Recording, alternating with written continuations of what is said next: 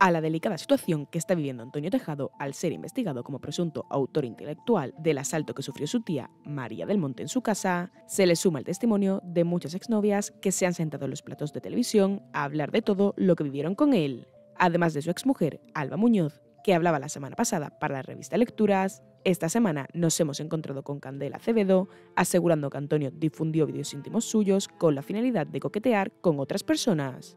Unos testimonios surrealistas que han dado mucho que hablar, pero por los que su familia guarda silencio absoluto. Así, su hermano Chema ha querido guardar silencio ante las preguntas sobre dichos testimonios y no ha podido contener la risa al ser preguntado por si recordaba Candela.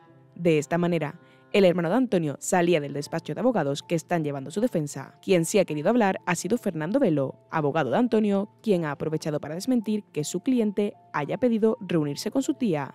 Yo soy el abogado Antonio Tejado, yo a mí no me consta, lo único que os puedo decir. Por lo demás, ha preferido no desvelar las medidas que van a tomar y si el susodicho declarará finalmente o no.